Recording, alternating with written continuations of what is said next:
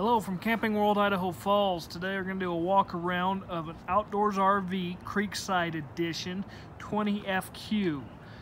First of all, it has the bigger propane tanks, electric jack. As we come around the side, I want to show you this has magnetic locks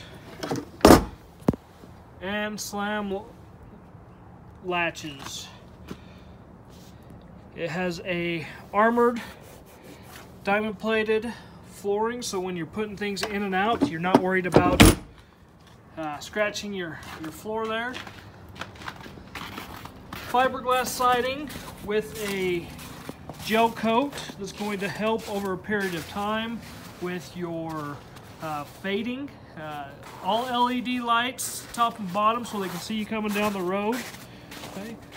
Ladder so you can see on top aluminum steps. Two of them with grooves.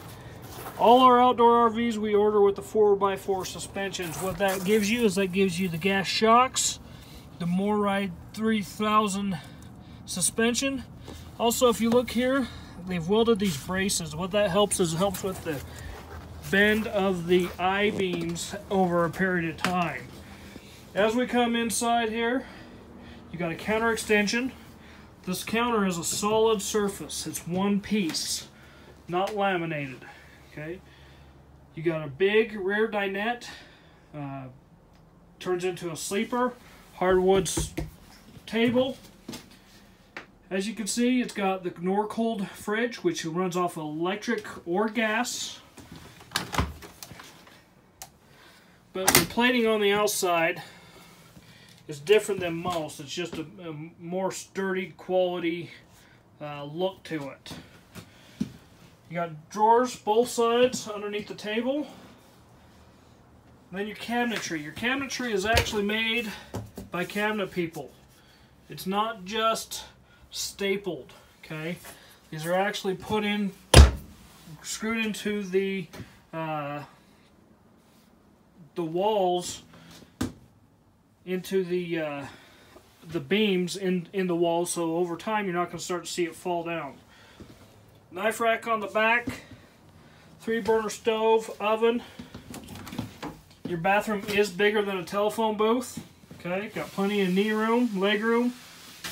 You got a skylight in your tub.